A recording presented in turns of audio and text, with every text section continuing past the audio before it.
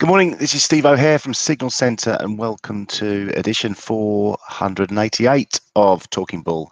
It's the 1st of November 2021. My daughter today, Chloe, is 23. Happy birthday, Chloe! And uh, let's dive into what's um, what's going on. The market highlights. Uh, Japanese markets have been a big outperformer over night, and uh, both Nikkei and TOPIX gaining over 2% in the wake of an election that provided better than expected majority to the ruling Liberal Democrat Party.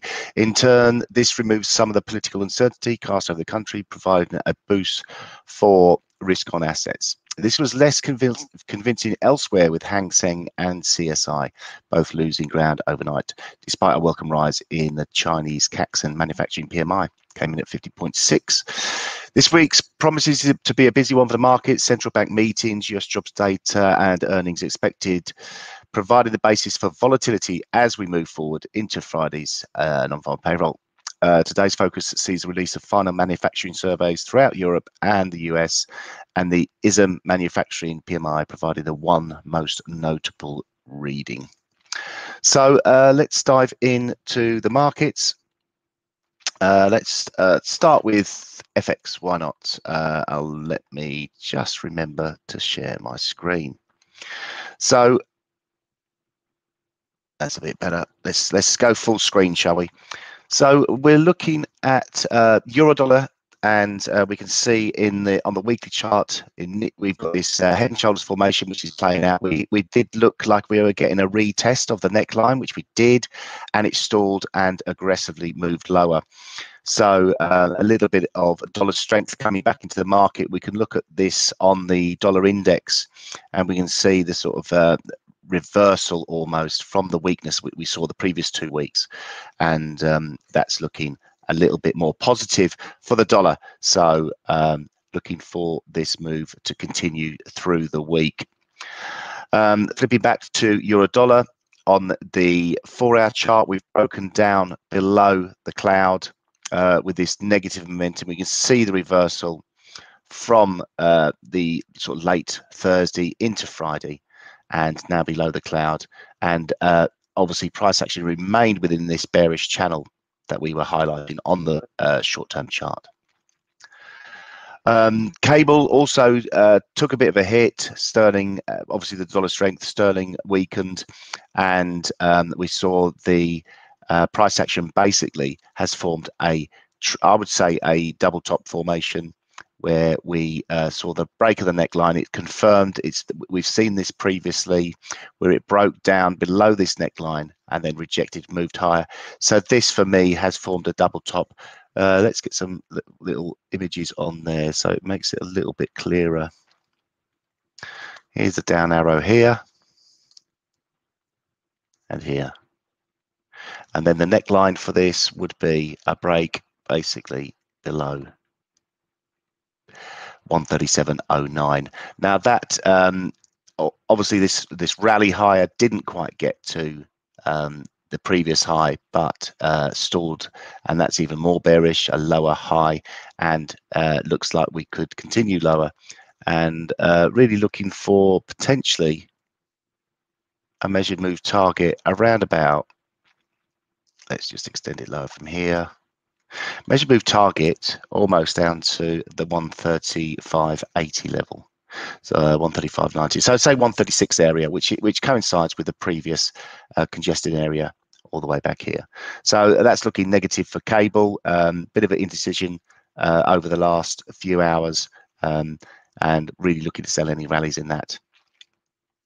Dollar yen has uh, moved higher again. We've got the opposite uh, type of uh, formation. Although it's nice to see these at the top of trends, this is like almost a, a channel, sideways channel we're seeing in dollar yen, and uh, really looking for the um, it, we can almost see it's a an inverse head and shoulders and it's breaking higher but breaking this neckline here at 114 um, 11 is uh, 114.31 sorry is pretty key we've extended higher this morning 114.44 and just pull back to that level again so retesting that break and uh, for me that's pretty positive obviously need to take out the previous swing high um, from the 19th of October, where the high came in at 114.70.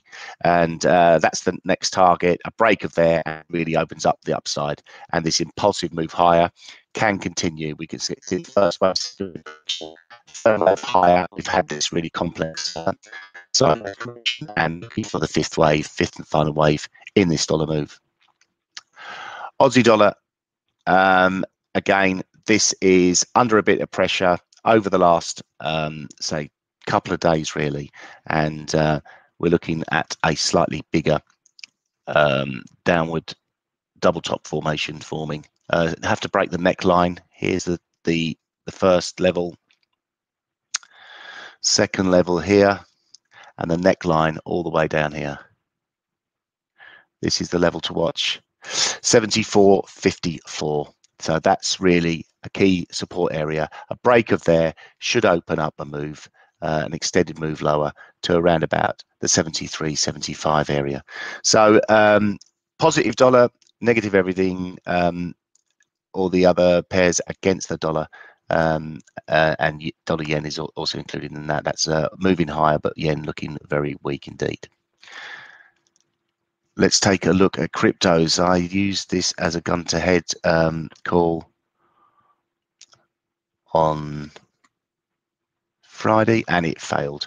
Uh, take a look at got stopped out, stopped me out right at the high, taught me a lesson again, and and moved lower. So we are getting this um, sideways channel formation. Uh, we're trading below. Let's take a look at a slightly higher time frame. This is the formation that I'm really interested in. Looks like it's going to be a little bit more complex than it, it initially was. Um, the right shoulder extending outwards, uh, but we are posting lower highs, so it still remains under pressure. Um, we can actually draw, redraw this uh, and see the potential break uh, really won't occur till re really we get a clear break of 58,000 in the uh, Bitcoin. Ethereum holding up quite nicely. This is the daily chart. Um, again, holding up close to the all-time high as well. Just a, just uh, just well, it did form an all-time high, it's retraced from there. Uh, having these spikes lower um, and we can see volume dropping off, momentum dropping off. So we're getting bearish divergence. Again, that's another classic sign that we could potentially have a reversal. Ripple hasn't managed to break above the downward trending resistance line, so that remains under pressure. Um, maybe I should be looking for one of these other uh, coins rather than focusing on Bitcoin. You'll still, um, you probably have a better chance in in these to sort of like try and try and catch this this uh, bearish divergence which I expect to play out. Cardano remains a quite muted trading price action, um, really sort of like stuck between this 189 and this, this 250 area to 250 really needs to recapture ground above there for any uh, chance of a recovery, um, but it doesn't look too great for the alternative coins on the crypto space. Um, taking a look now at commodities, Uh, crude oil recovered, has recovered um, since Thursday. Uh, we had this uh, aggressive dip lower and it recovered in the afternoon into the night and uh, looking re still remains positive on the upside. Bearish momentum is showing on the four, uh, sorry, on the daily chart. Let's have a little look at this uh, channel on the four-hour chart that we've highlighted. It keeps retesting this, and we're hugging the bottom of the channel. It's almost like uh, an opportunity to redraw that channel um, to really capture see if we can capture even more points than we had before. So we've got this the start of this upward trend. We've got the the first real um, dip lower uh, around the um, Ichimoku cloud on the four hour chart. We did breach it here but we've now hit this line another sort of three or four times. So I've moved that channel slightly lower to um, to give a, a, more accurate supportive um, trend line. We are trading uh, around well within the four-hour Ichimoku cloud. This is really key, um, and so we remain positive while above uh, well within the cloud and above this trend line on WTI crude oil. Um, levels to watch really, uh, really need to see a break of the $83 level to get excited for the upside and um, if we do get a confirmed break of the $80 level on the downside, then we should have a, a deeper correction. But for me, it seems to be um, continuing to buy dips in there. The we can redraw also this um, the, the Brent crude oil. Um, this is clearly broken this initial channel we had drawn in, and um, this can be though this can be redrawn and actually widened uh, to sort of capture a couple of data points on the upside. Um, but yeah, looking a bit messy under the four-hour Ichimoku cloud. Um, we can see a little bit of rejection, although we're on the front foot this morning and looking to take out this resistance at $84. We still face cloud resistance, uh, but really need a clear break of 85.78 to really um, confirm the uh, the bullish trend, this real grind higher to continue. Um, on the opposite side of that, if we'd get a break of 82.30, which was this spike low, and um, and a clear break of 81.42, then again we'll be on the negative stance. But for now, again, dip buying in oil seems to be the way forward. Gold uh, has rejected again this uh, attempt to move higher above the 1814 level, stalled and has moved lower and we're under a little bit of pressure, although we've seen a little bit of a recovery from 1772, took out the 1780 uh, support on Friday, um, went down to 1772, but it's bounced nicely, 1785 trading. Uh, again, I still feel we are in this um, downward channel uh, and still maybe potentially need a retest of this 1677 level on a longer term basis. Um, the uh, the overall formation that I'm looking at, as I've spoke about, is this bullish flag formation, which means that on, a longer term basis, I do expect gold to move higher, but it really is having a lot of bother at the moment, trying to recapture ground above uh, the 1834 and the 1850 uh, resistance area. So gold under a bit of pressure this morning. Short term time frame on the hourly chart um, looking really to sell into rallies around about the 1790 to 1800 level and um, looking to target a move lower in gold. The dollar strength obviously will assist in this. Um, silver under pressure also. Uh, we've got support coming in at 23.66 and resistance at about $24. We've got the cloud above here. So we've got this downward trending uh, resistance line we can draw in also take the trend line from the top, take these nice two points here, and that comes in nicely around about the Ichimoku cloud. So uh, really looking to sell into uh, resistance around $24. Uh, initially, supportive area would be around about 23.66 uh, and below that. Now taking a look at, let's take a look at indices now. Indices, as we said in the initial uh, run up off to a positive start this morning, looking really good. Uh, FTSE we'll look at first of all. We, we're seeing um, highs really, which we haven't seen uh, uh, since uh, 24 well since before the pandemic really we're getting up to those highs um, so the middle of february uh, 2020 uh, we were trading around 74.21 and uh, we're pushing up to there now. 72.80 on the front foot this morning FTSE looking very positive indeed. Again that is helped by the dollar. And we're breaking above uh, some nice um, resistance that we we thought we saw on uh, early part or middle of last week uh, and look to be attempting to move higher there. Nice little channel. It's uh, reacted higher. Bullish hammers posted. And above the cloud remained above the cloud and continues to look pretty strong uh, we've got a nice little trend line we can also draw on the four hour chart and that provides support below the cloud. The DAX also looking pretty good. Um, the spike lower that we saw on Friday was bought into uh, around about 15,500 that was the low, and that uh, led to a catalyst of a, a, really sort of high impulse move, uh, and uh, good volume on that as well. Momentum very strong, uh, really reacted from the supportive area from the Ichimoku cloud, and has taken out some decent resistance levels, and um, 15 15,782 uh, taken out. Really, next level of resistance looks to be around about the 15,940, another 100 odd points to the upside, um, and wouldn't be surprised if we uh, see that within the next 24 hours. Dow Jones, all-time high.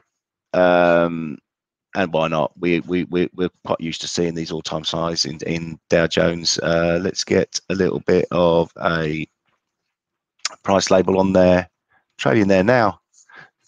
36,000, just below there we're trading. 35,978 uh, at the moment. Uh, looking pretty uh, strong going into this morning, obviously assisted by the Asian Pacific or the Japanese markets.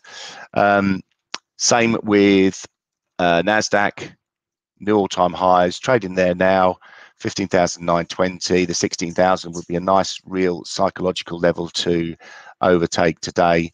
Um, and there seems to be no slowing this bad boy down or these bad boys down. 40, uh, 4,625. So everything looking very rosy on the uh, US side of things on the indices. Aussie dollar has to, sorry, Aussie 200 has a little bit to do to catch up. Um, uh, had a reaction from 72.93. We're 100 points higher from there and look to be extending higher as well this morning. Um, as we mentioned, China was under a bit of pressure. It's recovered quite nicely now, up to 15,807 and looking to move higher. Uh, Hang Seng uh, dragging its heels a little bit, but um, could be a little bit of a turnaround here. We've seen the MACD looking to cross over and we saw looks to be stalling. And the Nikkei has taken out the resistance at 29,483 and looking to extend higher from there. So looking very strong. On the indice front, uh, let's talk about Talking Bull. Uh, not really, or sorry, let's talk about gun to head challenge. Not really a lot to say from my perspective. Uh, really uh, feel like a bit of a bit of a letdown. Trying to fade this Bitcoin um, move and really sort of like wanting to maybe look today at some indices and see if there's any real opportunity in here to sort of jump on the bandwagon. Um, Aussie 200 maybe looks to not have done enough yet, and China as well looks looks for a bit of potential for the upside. Um, but I'm going to go with gold. I'm uh, the dollar strength to continue. I'm going to fade gold. I think we've got, uh, let's jump onto the hourly chart to give a little bit more explanation on this. Um, we've seen this correction higher. I expect dollar strength to continue. I think this will impact gold. Ideally, I'd like to sell it a bit higher, around about the 1800. That seems to be a, a decent level to uh, fade into, but I've got a gun to my head, so I'm going to get short here. I'm going to have a tight stop um, we're, we're, getting short at uh, 1784. Let's round it round it up, and um, let's have a stop at 1794. Nice ten dollar stop, and look to take out. Um, well, 1764 looks like uh, a nice round number. Sounds like a nice, nice round number to target. So that's my gun to the head uh, trade idea today. Selling gold, shorting gold, looking for uh, this uh, this bearish uh, move that we've seen on the short-term chart to continue lower, based really on the dollar strength expectation. expectation. So uh, what are we expecting uh, for the rest of the day, the day ahead. Um, really, not a lot today. We've got 2 p.m. We've got US ISM manufacturing expected to fall to 60.4 from the previous reading of 61.1. Uh, we have got other earnings due out as well this week. We'll pick them up uh, when they're due, on the morning. Um, but uh, till then, uh, I hope this has been a, a sort of uh, a summarized wrap up that's um, going to get your day off to a good one and look forward to joining again tomorrow. Thanks for joining me.